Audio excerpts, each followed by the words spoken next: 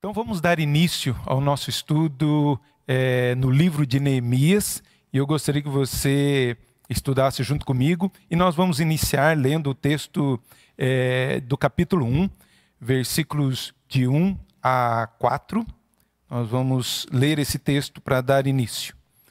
As palavras de Neemias, filho de Acalias, no mês de Quisleu, no ano vigésimo, estando eu na cidade de Suzã, veio Anani, um dos meus irmãos, com alguns de Judá. Então lhes perguntei pelos judeus que escaparam e que não foram levados para o exílio e acerca de Jerusalém. Disseram-me: os restantes que não foram levados para o exílio e se acham lá na província estão em grande miséria e desprezo os muros de Jerusalém estão derribados e as suas portas queimadas. Tendo eu ouvido estas palavras, assentei-me e chorei, e lamentei por alguns dias, e estive jejuando e orando perante o Deus dos céus. Que Deus abençoe essa palavra, que Deus abençoe o nosso estudo nesse momento. A carta, o livro de Neemias é uma, um livro maravilhoso, onde vai nos instruir acerca da responsabilidade nossa de como cidadão, a responsabilidade como líder, a responsabilidade que nós temos de interceder diante do Senhor em favor daqueles que estão na miséria, aqueles que, aqueles que estão desamparados, aqueles que estão precisando de ajuda. E aqui nós vemos Neemias. Ele recebe a visita do seu irmão, ele está na Babilônia e recebe notícias daqueles que estavam lá, voltaram, estavam em Jerusalém e qual era a situação deles. E nós vemos que ele recebe a notícia que as portas estão queimadas, os muros estão derribados, há o templo, como foi construído no tempo de né, anterior, no livro anterior que a gente leu, estudou de Esdras, mas os muros estavam ainda derribados e muita gente ainda vivendo em miséria. Isso toca o coração de Neemias e ele se coloca diante do Senhor, ora ao Senhor, pedindo orientação ao Senhor sobre como ser um instrumento nas mãos do Senhor para mudar essa situação. O livro de Neemias é um manual de liderança. Toda pessoa que lidera ou quer aprender sobre liderança deve ler o livro de Neemias e como ele, com a sua habilidade de liderança, o seu compromisso com Deus, a sua vida de oração, transforma uma cidade, transforma uma nação. Isso é maravilhoso a gente poder estudar e ver o que acontece ali nesse livro. Então, gostaria que você estudasse junto comigo esse livro. Vamos aí ao título do livro. É, embora as Bíblias modernas né, tratam, é, dividem Esdras e Neemias como dois livros separados, eles foram originalmente um único livro era um único trabalho feito por Esdras, como conversamos no estudo passado. Eles são tratados como uma composição da Bíblia hebraica, o Talmud, Flávio Joséfo e os mais antigos manuscritos da Septuaginta, como a tradução, né, a Septuaginta é a tradução grega do Antigo Testamento. Eles colocam é, o livro de Esdras e Neemias juntos, era fazia parte de apenas um livro, né, compunha um livro somente Orígenes, para facilitar a leitura, para facilitar a, a tradução, é, ele divide esse livro em duas partes, em Esdras e Neemias. E foi, né, então, Orígenes, no ano entre 185 230 e 253 que ele viveu, foi o primeiro a separar Esdras e Neemias em dois livros. Muito tempo era somente um livro, e depois Orígenes divide o livro em duas partes. E a autoria, Esdras e Neemias, como dissemos, eram originalmente um único livro composto de, varia, de, de uma variedade de fontes históricas, incluindo os textos que Esdras escreveu, as suas memórias, os seus manuscritos, como o seu diário, assim também como de Neemias, os seus escritos, as suas memórias e mais ainda, documentos. Outros documentos, como a gente pode ver no livro de Neemias, o documento de, do rei, de, de Ciro, de Ataxerxes, esses todos, eles também tinham é, acesso a esses documentos. E como eles tinham acessos, a, acesso a esses documentos, eles puderam é, ajuntar, principalmente Esdras, ajunta e escreve esse livro. Primeiro, é, Esdras e Neemias, ele escreve, é o mesmo autor. Vamos lá, então, segundo a tradição judaica, Esdras foi responsável pela compilação dessas fontes em sua forma atual. Então isso é muito importante, que às vezes a gente pensa que a Bíblia caiu de qualquer jeito, já tudo certinho. Não. Muitos estudos e tudo mais, e às vezes para facilitar a leitura se divide um livro, mas o mais importante é a palavra de Deus está aqui. O mais importante, aquilo que Deus queria transmitir foi transmitido. Seja apenas um livro chamado Esdras ou dois livros, Esdras e Neemias. Seguindo no nosso estudo aí, a data que foi escrito. Neemias pode ser datada aproximadamente, há muita controvérsia, né? a gente não pode especificar uma data específica, porque os escritores, os teólogos sempre colocam um pouco a mais, um pouco a menos, mas aproximadamente no período de 430 a 400 anos. Esse período aqui de Neemias, tá bom? Esdras e Neemias.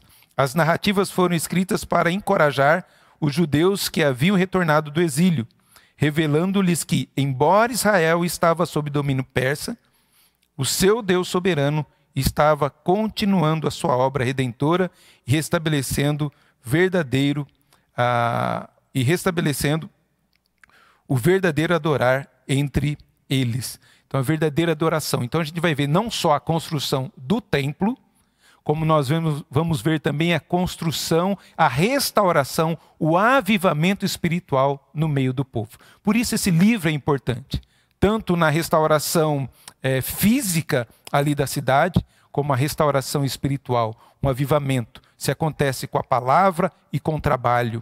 É, havia um termo dito pelos reformadores que era orare et labutare.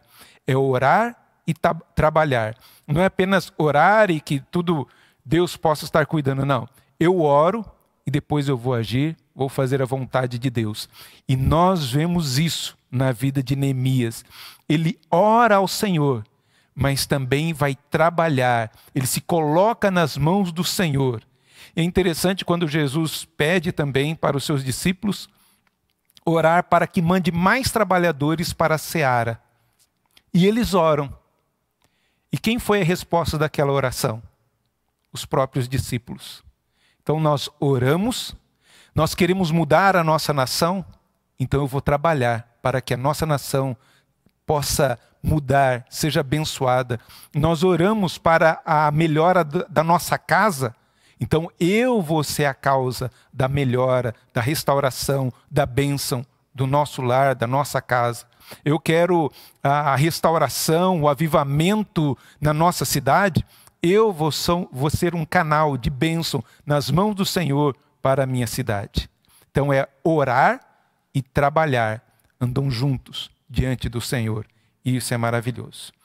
Então, para a gente caminhar mais um pouco, para a gente ver o contexto histórico de tudo isso, é, a gente vê aqui que esse retorno começa lá no livro de Esdras, quando ele fala que a primeira leva vem com Zorobabel. Então, recapitulando, Deus trabalhou no meio do povo. O povo pede, muito tempo atrás, uh, um rei, como nós vemos no livro de Samuel. E eles pedem o rei e Deus levanta um rei. Levanta o rei Saul. E Saul governa por 40 anos. Depois é destituído por causa da sua desobediência diante do Senhor, e Deus estabelece Davi e reina também 40 anos. E depois da morte de Davi, o seu filho Salomão reina também por 40 anos. Então, esses três reis, durante 20 anos, reinam ali sobre Israel, sobre o único governo, sobre a nação unida. Mas depois, Jeroboão, há uma briga com Roboão, e aí divide-se o reino. E dez tribos ficam no reino do norte, e é, duas tribos, Judá e Benjamim, fica na tribo, fica na região sul. No norte, capital Samaria, e no sul, capital Jerusalém. E eles têm os seus conflitos, mas continuam reinando, né? E os profetas vão profetizando, mostrando os caminhos errados e os acertos que eles deviam fazer. O reino do norte, todos os reis fizeram o que era mal perante os olhos do Senhor. Tiveram várias dinastias e, por causa da idolatria, do seu pecado, são levados cativos. Né? E, levados cativos, há uma profecia para que Jerusalém, para que Judá também se voltasse diante do Senhor. Eles não aprenderam com o reino do norte. Eles também começaram a adorar outros deuses, a desobedecer a lei do Senhor, e Deus também os leva cativos. Só que eles ficam aí esse período todo do livro dos reis, cerca de 390 anos dura esses reinos todos aí até o povo ser levado cativo. Sendo levado cativo, o reino do sul, ele é levado cativo para a Babilônia. E eles ficam aí nesse período 70 anos. Deus profetizou e disse que eles ficariam é, cativos durante 70 anos. Depois de 70 anos, Jeremias profetiza, dizendo que chegou esse período, e chegando esse período, Deus levanta um rei Ciro para que possa libertar o seu povo. Diferente da Babilônia, a Babilônia destruiu uma cidade, pegava os nobres e levavam para o seu país. E assim queriam destruir aquela nação. Os persas eram diferentes. Eles dominam, mas deixam o povo é, continuar cultuando seus deuses, eles permitem que estabeleçam um governador, mas que pague impostos para o império. Isso nós vemos que acontece. Então, Deus levanta um imperador ímpio para libertar o seu povo.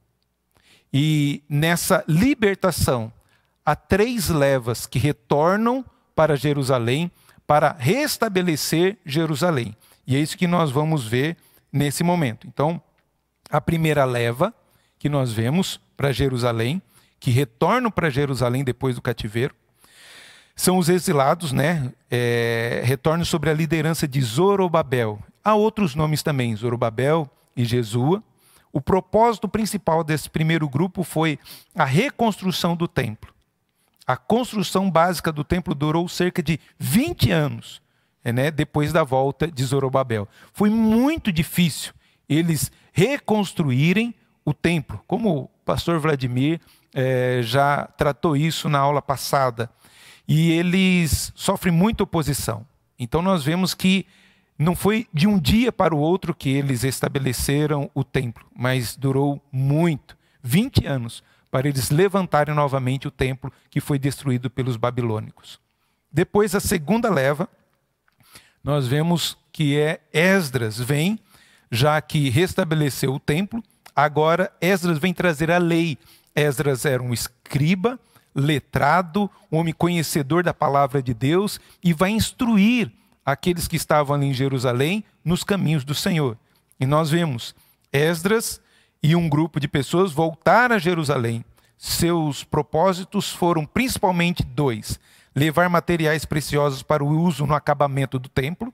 Então, ainda quando ele chega para ficar mais bonito, é, vistoso é, esse templo que foi levantado diante do Senhor. E além de levar esses materiais para o acabamento do templo, ensinar também o povo para que fosse fiel ao Senhor. Então ele instrui na palavra do Senhor, a lei do Senhor, o povo que estava ali em Jerusalém. Doze anos depois, vem a terceira leva, que é o texto que nós vamos estar trabalhando, o livro que nós vamos estar é, trabalhando, o livro de Neemias. Esdras, oh, perdão, é, Neemias lidera isso, né? Lidera, Neemias lidera a terceira leva de judeus que estava na Babilônia para reconstruir os muros de Jerusalém. Sem muros para proteger a cidade, as pessoas estavam sendo constantemente ameaçadas. Neemias, informado dessa situação, o texto que nós lemos, capítulo 1, solicita ao rei Artaxerxes, olha só que nome difícil, né? E nome bonito também, se tiver um filho, colocar o nome de Artaxerxes. Artaxerxes a autorização para liderar a reconstrução dos muros de Jerusalém. O rei lhe concede dispensa e ele fica fora também 12 anos. Ele não fica um ano, dois anos, muito tempo fora. Concede dispensa e dá título de governador da província. Então, é, esse é o propósito do livro de Neemias a reconstrução dos muros e também a edificação espiritual do povo que estava ali em Jerusalém. Isso que nós vamos caminhar e andar. O livro está dividido em duas partes, esse livro é, de Neemias. Então fica bem fácil a gente compreender o propósito e como que está sendo trabalhado, tanto a vida é, é, dos habitantes ali, como também a vida espiritual deles. Então, primeiro, né, a gente vê a reconstrução dos muros estabelece Jerusalém como cidade escolhida de Deus e Neemias como seu líder, identificado com o caráter e o propósito santo de Deus. Então, do capítulo 1 até o capítulo 7, vai tratar dessa reconstrução e as lutas que ele enfrenta. Ele enfrenta oposição externa e oposição interna também para o restabelecimento da ordem ali em Jerusalém. Ele enfrenta muita, muita luta e como que ele lida com seus inimigos, com as mentiras, com as fake news sobre a vida dele.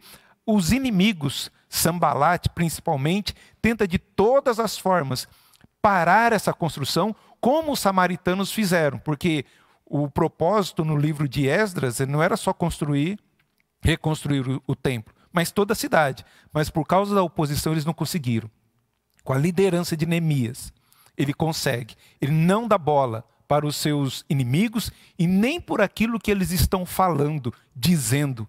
Ele se concentra na obra do Senhor. Ele diz: grande obra estou fazendo. Por isso ele não perdia tempo com outras conversas ou com mentiras que as pessoas estavam, ou com a zombaria que eles estavam fazendo. E a gente vai ver alguns textos que falam sobre isso. E a segunda parte do livro é a restauração espiritual do povo. A restauração de Judá como comunidade adoradora, adoradora acontece quando a palavra de Deus foi firmemente aplicada pelo líder de Deus a um povo acomodado e teimoso. Então, Neemias le, reconstrói, levanta os muros e Esdras vem para ensinar, instruir o povo na palavra de Deus. Então, é sobre é nessas duas linhas que nós vamos estar, é, a gente vai estar trabalhando, tá bom? Então vamos lá no esboço desse livro. E aí a gente vai pegando alguns textos para a gente compreender, entender e mais ainda, aplicar na nossa vida. Esse é o propósito. Então, como a gente viu aí, o primeiro propósito, que é do capítulo 1 ao capítulo 7, a reconstrução dos muros. Então a gente vê do capítulo 1 ao capítulo 2, 10, o retorno de Neemias para Jerusalém. Os preparativos para o retorno, como que ele lida com o rei, como que ele ora, intercede, jejua, busca ao Senhor antes de falar com o seu superior, pedindo a liberação para que ele possa estar servindo ao Senhor. Provavelmente ele estava esperando o momento certo para que pudesse isso acontecer. A resposta, de, é, o relatório de Judá, que nós lemos aqui no começo do nosso estudo, a resposta de Neemias, a solicitação perante o rei, e a viagem e o início do seu conflito, né? pessoas querendo impedir dele fazer essa obra. Eu gostaria de colocar, é, ainda não, né? ainda um, um texto não. Vamos lá, a parte B, a reconstrução do muro. A gente vê que ele inspeciona a primeira obra, ele chama as pessoas para ver qual era a situação, ele faz como um orçamento, ele faz uma revisão, vê o que vai precisar, quantos homens vão precisar para essa batalha toda, para esse caminhar todo. Então ele primeiro é, analisa os conflitos que ele vai ter com os samaritanos, principalmente Sambalat e Tobias. A reconstrução é iniciada no capítulo 3. No capítulo 4, é, se intensifica mais ainda os seus conflitos, a zombaria e as pessoas tentando impedir a construção. A gente vê no capítulo 4 de capítulo 7, a reconstrução continua. No capítulo 5, problemas internos ameaçam a reconstrução. Pode ver tanto lutas externas quanto internas, tanto dos estrangeiros quanto os próprios judeus, às vezes estavam querendo criar empecilhos para a reconstrução do muro, por interesses próprios, claro. E no capítulo de número 6, o clímax do conflito, e o capítulo 8, é, perdão, no capítulo 6, de 15 a 7, o fim do conflito. Depois a gente fala o retorno dos exilados, ele faz uma chamada e tudo mais para as pessoas voltarem, já que levantou os muros, a necessidade de repovoar Jerusalém, de mais gente habitar na cidade, e o registro dos que retornam, da linhagem pura, sem ser misturado com outros povos, o que aconteceu com os samaritanos. Os samaritanos eram judeus que, quando levados cativos, se misturaram com outros povos e, por isso, é, não adoravam ao Senhor também, eram mais é, idólatras, estavam adorando outros deuses e, por isso, não fazia parte mais do povo judeu nesse, nesse retorno. E eu gostaria de deixar um texto com vocês no capítulo 2 que diz: no mês de Nissan. É interessante isso. No capítulo 1, versículo 1, diz que no mês de Quisleu. Mês de Quisleu é, fica entre novembro e dezembro. Tá? Metade de novembro e metade ali de dezembro. Ele recebe a notícia. E somente no mês de Nissan que ele vai conversar com o rei. Então a gente, muitas vezes a gente lê, a gente pensa que é de um dia para o outro, e não demorou meses para que eles estivessem em oração, jejuando, buscando ao Senhor, pedindo orientação de Deus para o momento certo dele conversar com o rei.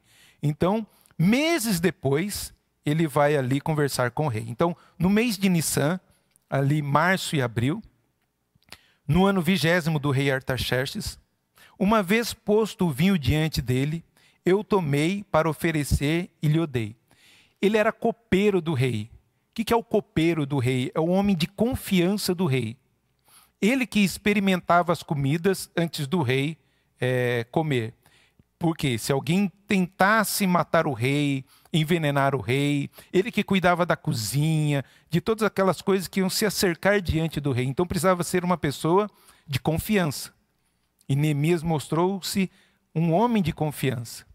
E ele, como copeiro do rei, ele experimentava a comida, o vinho, o suco, a água, tudo que o rei ia é, usufruir, ele experimentava primeiro ali da comida e da bebida.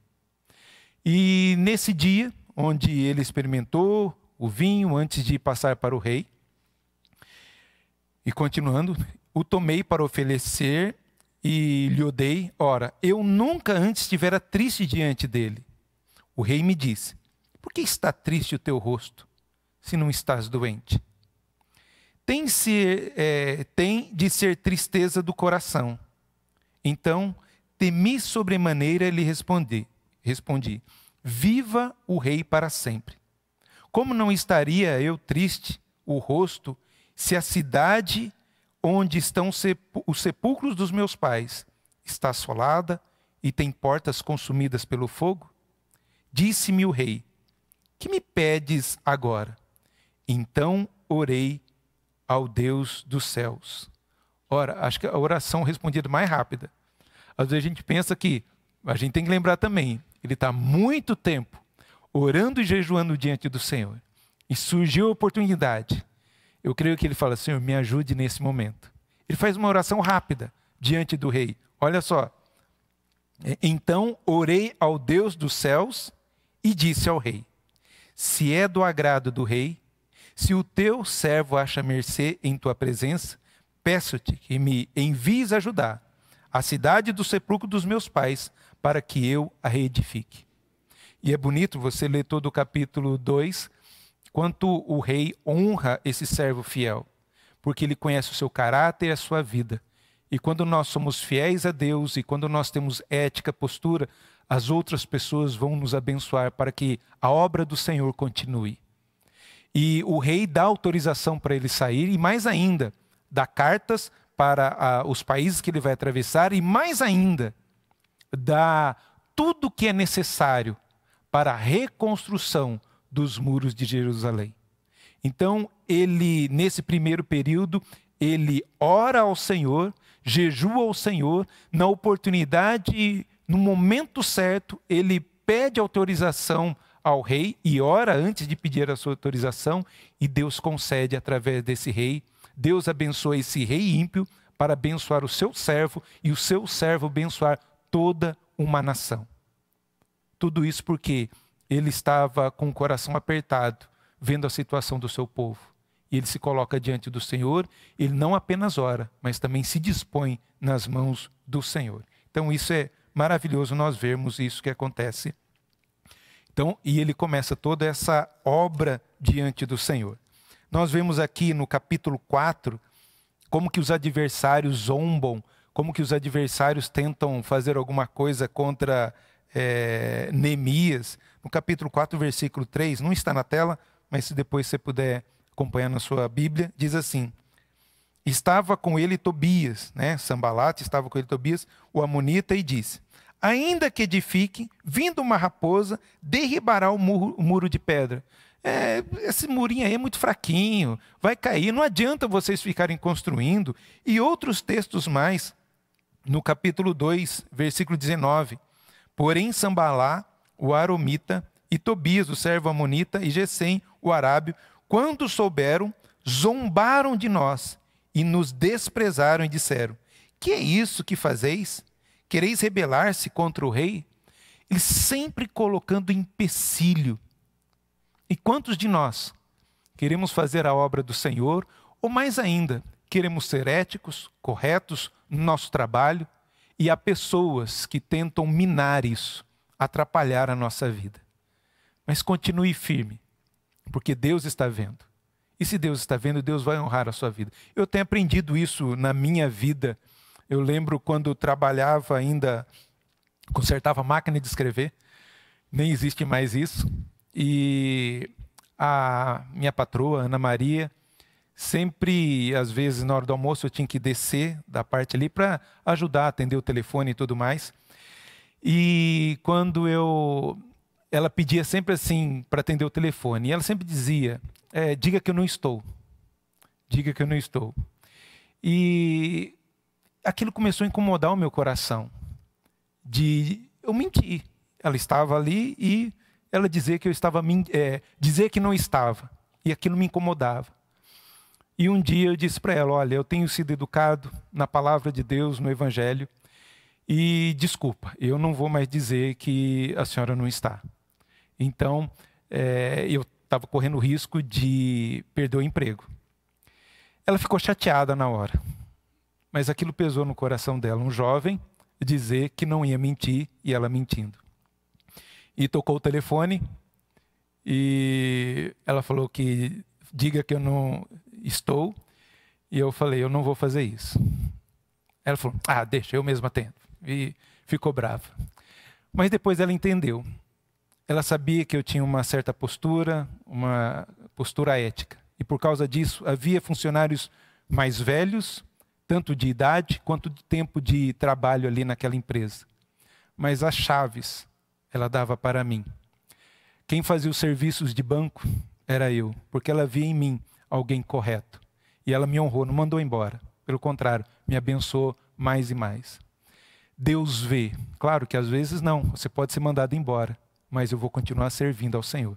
Comigo, essa experiência comigo foi assim. Ela não me mandou embora, pelo contrário, continuou vendo em mim uma pessoa que podia investir e cuidar. E por que investiu mesmo, né? Eu pude fazer cursos para poder aperfeiçoar o meu trabalho. Então, nós vemos aqui, vale a pena buscar ao Senhor e servir ao Senhor. Nós vemos inúmeros exemplos na palavra do Senhor. Nós vemos José, mesmo sendo fiel, foi levado ao calabouço mas com a consciência limpa.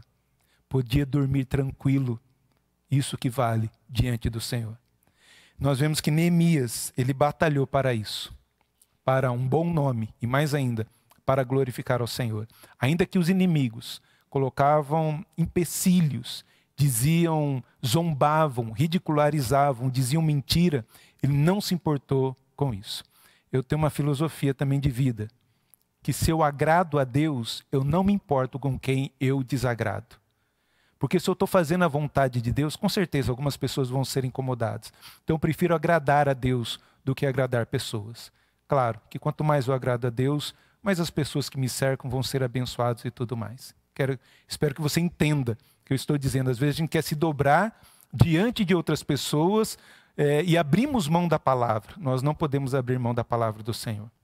Continuar fiel diante do Senhor.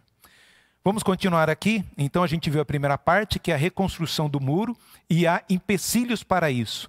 Mas é, Neemias não dá bola para essas coisas e continue, continua firme. E vê, em 52 dias, ele reconstrói todos os muros de Jerusalém, levanta todas as suas portas, por causa da sua liderança, da sua determinação e com a ajuda de Deus. Ele trata isso, né? ele fala que foi com a ajuda e a direção de Deus que ele conseguiu tudo isso. Então, a segunda parte né, desse livro que a gente tem aí, que vai falar agora da restauração espiritual. O que, que adianta a gente ter templo se a gente não tem vida com Deus? O que, que, ter, que, que adianta ter um, é, sacrificar se aquilo é vazio? E essa é a importância que nós devemos ter de viver diante do Senhor e glorificar o Senhor com isso. Então, a segunda parte vai do capítulo 8 até o final, capítulo de número 13. Deixa eu beber um pouquinho da água aqui.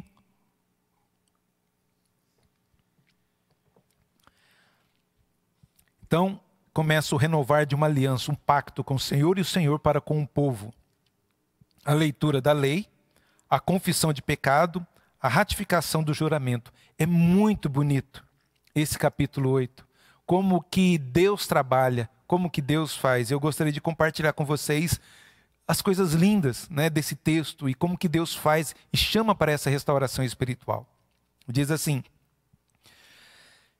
Em chegando o sétimo mês, e estando os filhos de Israel nas suas cidades, todo o povo se ajuntou como um só homem na praça diante das portas das águas e disseram a Esdras, o escriba, que trouxesse o livro da lei.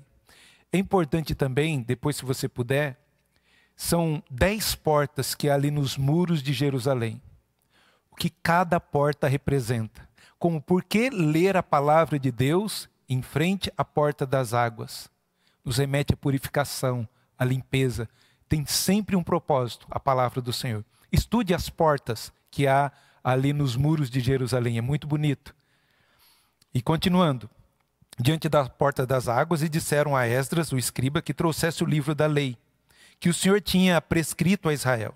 Esdras, o sacerdote, trouxe a lei perante a congregação, tanto de homens quanto de mulheres, e de todos que eram capazes de entender o que ouviam. Era o primeiro dia do sétimo mês. Continuando. E leu no livro, diante da praça que está de frente à porta das águas, desde a alva até o meio-dia. Olha esse culto. Começou mais ou menos desde que o sol nasce. Vamos colocar, colocar aqui seis da manhã até ao meio-dia, seis horas. Esse homem lendo, esse homem falando da palavra de Deus e o povo em pé ouvindo. Se fosse aqui nos nossos dias, eu já, às vezes, né, não sei como que funciona isso, se eu estiver falando muito, vocês mudam, né, de canal e tudo mais, vão ver outra live e tudo. Mas aqui na igreja, quando nós nos reunimos, as pessoas ficam incomodadas, mas vai terminar? Esse louvor está demorando muito. Ah, esse pastor está demorando em falar a gente se incomoda e a gente tem conforto. O povo, seis horas, ouvindo a palavra do Senhor. Continuando, né? Desde a alva até o meio-dia, perante homens e mulheres, perdão, é, de entendimento, e todo o povo tinha os ouvidos atentos ao livro da lei. Esdras abriu o livro à vista de todo o povo, porque estava acima dele abriu ele, todo o povo se pôs em pé. Esdras bendisse ao Senhor, o grande Deus, e todo o povo respondeu: Amém, Amém. E levantando as mãos, inclinaram-se e adoraram o Senhor com o rosto em terra. Depois de ouvir a palavra, eles continuaram louvando, adorando, glorificando ao Senhor. Um verdadeiro avivamento. É o que nós precisamos nos dias de hoje. Não só termos grandes templos é, cheios de gente, mas uma vida cheia do Espírito Santo, que se dedique diante do Senhor, que se prostra diante do Senhor, que se alegra com a palavra do Senhor, ainda que seja dura, mas se alegra, medita, medita na lei do Senhor de dia e de noite, para ser bem-sucedido. Muitas vezes queremos ser bem-sucedidos, mas não queremos é, pagar o preço de meditar na palavra do Senhor. Que nós possamos aprender com Neemias como que Deus restaura essa nação, como Deus restaura esse povo. Então, caminhando aí no esboço, é, do capítulo 11 ao 12, uma listagem de moradores, ele começa a fazer um censo das pessoas que estão vindo, como tirando aquilo que. É, purificando o povo, a nação, vendo as linhagens todas de Israel, para que possa estar o remanescente firme diante do Senhor. Então ele faz listagem dos moradores, dos sacerdotes, dos levitas, a dedicação né, e a provisão do clero, ele dá, orientação, dá muitas orientações sobre isso. A reforma do povo no capítulo 13. E o capítulo 13, muito importante também. Depois de levantar os muros, de consagrar os muros, de orientar o povo, depois de um tempo, Esdras volta para é, Suzã, mas depois ele retorna, e quando retorna, vê ainda que faltava alguma coisa. Alguma coisa ainda estava errada. Alguma coisa estava acontecendo no meio do povo. E se você ler no capítulo 13, ele vai repreender e parar do misticismo dentro do povo, manda os amonitas embora. Olha só no capítulo de número 13, deixa eu ler aqui para vocês. Naquele dia se leu para o povo, no livro de Moisés, achou-se escrito que os amonitas e os moabitas não entrassem jamais na congregação de Deus.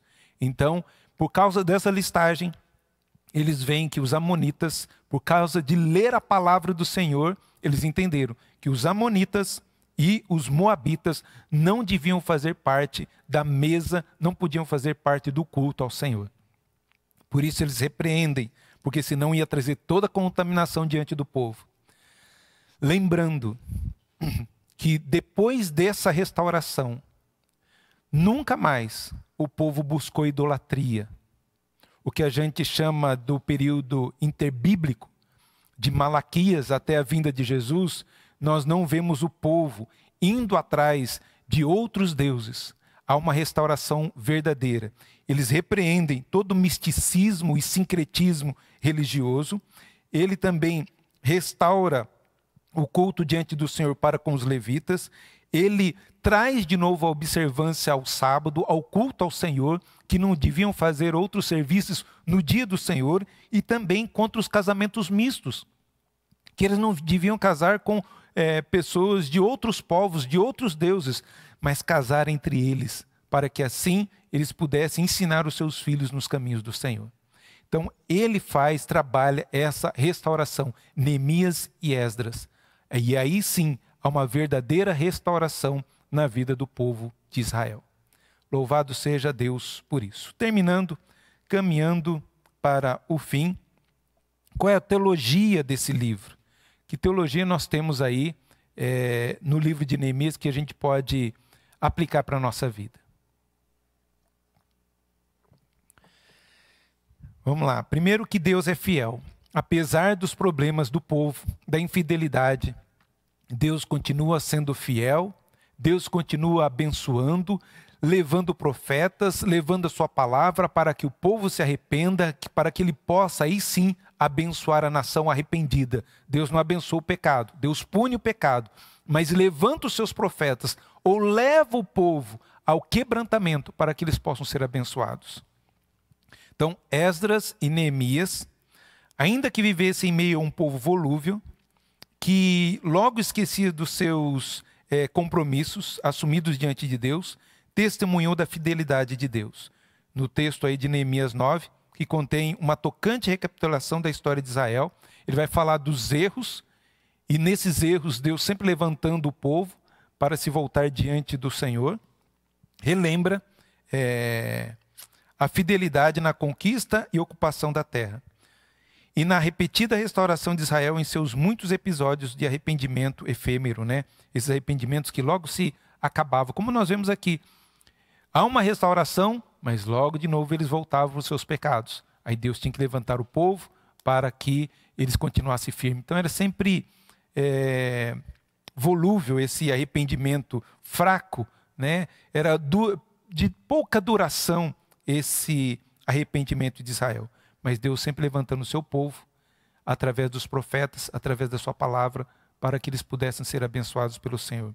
Deus continua sendo fiel ao seu povo, mesmo nos seus percalços, nos seus problemas, nas suas lutas, assim como para comigo e como para você. Apesar das nossas falhas, apesar da nossa infidelidade, Deus continua sendo fiel. E sendo fiel, ele vai nos punir para que possamos voltar diante nos voltarmos para ele. E ele é fiel para nos abençoar conforme nós andamos nos seus caminhos. E muitas vezes nem andando nos seus caminhos, ele continua nos abençoando. Deus é maravilhoso e fiel. E fala também da soberania de Deus. É maravilhoso como Deus usa até os ímpios para abençoar o seu povo. E o livro de Esdras e Neemias mostra muito bem isso. Como que Deus levanta reis para que possa destruir outros reis que oprimiam o seu povo, para que possa dar liberdade e aí restaurar a sua nação. Isso é maravilhoso. Nós vemos na história. Então, o objetivo geral de Esdras e Neemias é afirmar que Deus soberanamente opera através dos agentes humanos responsáveis para realizar o seu objetivo redentor. Ciro emitiu é, seu decreto porque o Senhor havia se mudado o seu espírito. Lá em Edra fala que Deus que levanta Ciro. Deus que toca no coração dele para que pudesse abençoar o seu povo, povo de Deus. Aqueles que retornaram voltou porque o Senhor havia mudado seus espíritos. Esdras teve sucesso porque a boa mão de Deus estava sobre ele. E Artaxerxes apoiou o trabalho de reconstrução porque o Senhor tinha colocado em seu espírito. Os seres humanos agiram livre e responsavelmente sobre a providência de Deus, a fim de que seus planos se cumprissem. Os reis, pensando que era a vontade própria deles, enquanto que Deus é que estava guiando. O coração do rei está nas mãos do Senhor e por isso ele inclina para onde quiser. O pastor Vladimir tratou muito bem isso é, na semana passada. E o que, que isso arremete para a vinda de Jesus? O quanto isso aponta para Jesus? E eu gostaria de compartilhar isso com vocês também. Fatores messiânicos no relato de, do livro de Neemias. O remanescente fiel. Nem todos de Israel são de fato israelitas, nem todas as tribos foram congregadas, e nem todas as pessoas das duas tribos remanescentes vieram para repovoar uh, o país e a cidade de Jerusalém. Por isso ele faz o censo. As dez tribos do norte foram levadas cativas pela Síria, não mais voltaram, né, que se tornaram os samaritanos. Os que ficaram se misturam com os outros povos, tornando-se um povo misto, chamado samaritanos. Esses fizeram oposição à obra de Deus. Mas, das doze tribos, duas tornaram-se remanescente: Benjamim e Judá. Aqui está a linhagem de Davi. Aqui está a linhagem do Messias, né? A raiz de Davi, da descendência de Davi viria o Messias. Deus nunca deixou de preservar o seu povo. O remanescente jamais será destruído. Como essas duas tribos, Benjamim e Judá, o povo da promessa prosseguiu até a vinda do Messias. Deus sempre preservou o seu povo, os fiéis, para o propósito dele da vinda de Jesus, o nosso Salvador. E por isso nós temos a redenção em Cristo Jesus. Aleluia.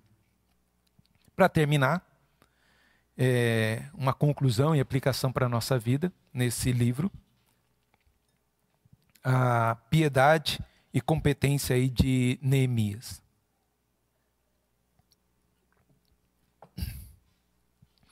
A piedade e competência de Neemias em, é, são características imprescindíveis na vida de um líder.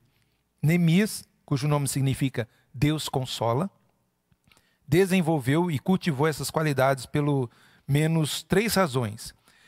Não permitiu a, que a oposição ou riqueza material ocupasse o primeiro lugar em seus, seu pensamento, em seu coração, porque tinha uma visão bem definida do que devia fazer e de onde é, que iria chegar, e porque dependia e confiou em Deus. Todo o tempo nós vemos essa confiança de Neemia, sempre em oração, clamando, intercedendo diante do Senhor. E para terminar, a soberania de Deus. Deus é onipotente, Deus é soberano. Nenhum dos seus planos ou projetos pode ser frustrado ou ficar inacabado. Tudo que ele quer é, fazer, ele faz de forma completa. Tudo que ele começa, ele termina. A obra de Deus é feita por intermédio de pessoas que ele usa. Deus usou, Deus restaurou a nação, Deus é, restaurou uma cidade, porque um homem se dispôs nas mãos do Senhor. Como eu falei no começo, nós oramos a Deus para que Deus mude a nossa casa, para que Deus mude a nossa cidade, para que Deus mude a nossa nação. Então, se eu orei para a mudança na minha casa, eu vou ser o agente da mudança. Se eu orei para nós vivermos uma cidade melhor, eu vou ser esse agente. Eu vou me dispor nas mãos do Senhor para que essa mudança aconteça. Às vezes nós oramos e transferimos responsabilidade para outros. Não. Você orou para que Deus mude a sua casa, o seu casamento, sua família, que a mudança comece em você. Nós estamos orando para que Deus abençoe a nossa nação, que você seja esse agente de mudança. Assim como Deus fez na vida de Neemias, de Esdras e de tantos homens e mulheres que se colocaram nas mãos do Senhor. Se você puder ler ah, o livro de Esther, nós vamos ver isso. Uma mulher que, vendo a situação perigosa que o seu povo se encontrava, se dispõe, na, se dispõe nas mãos do Senhor ainda correndo o risco de morte, mas ela se dispôs para que Deus abençoasse a, o seu povo, a sua nação. Então, queremos ver mudanças, queremos ver restauração, queremos ver avivamento. Que o avivamento comece em você, no seu coração, com vida de oração, leitura da palavra, dedicação ao Senhor, vida ética, postura ética que passe, que a sua vida espiritual não seja uma vida apenas de templo, mas seja uma vida fora do templo, mostrando realmente o Deus que você serve na sua casa, no seu trabalho, na sua cidade, onde Deus te colocar. Deus quer promover, Deus quer trazer um avivamento. E esse avivamento começa por você, começa por mim. Se todos nós buscarmos isso, grandes coisas o Senhor tem para fazer no nosso meio. Que quando nós voltarmos, nós possamos ver uma igreja avivada, uma igreja apaixonada por adorar ao Senhor, glorificar ao Senhor, apaixonada pela Sua palavra, apaixonada em fazer a vontade do Senhor, não só dentro dessas paredes, mas principalmente onde Deus nos colocar, onde Deus nos enviar. Amém? Que Neemias, que ergueu esses muros, e não só os muros físicos, mas também muros espirituais bem alicerçados, para que o povo permanecesse fiel e que assim Deus alcançasse o seu povo e através do seu povo outras nações fossem abençoadas. Glória a Deus por isso. Que o nome de Jesus seja exaltado e glorificado.